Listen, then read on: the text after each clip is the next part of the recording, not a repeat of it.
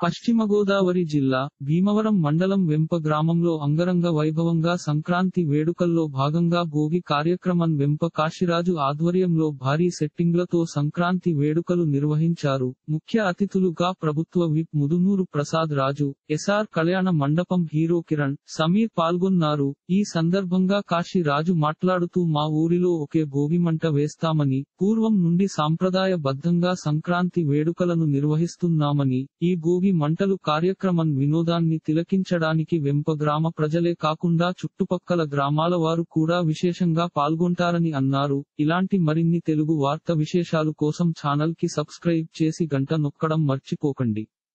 ఈ వీడియోని తోటి మిత్రులకి షేర్ చేయండి. మీ అభిప్రాయాన్ని కామెంట్లో తెలపండి.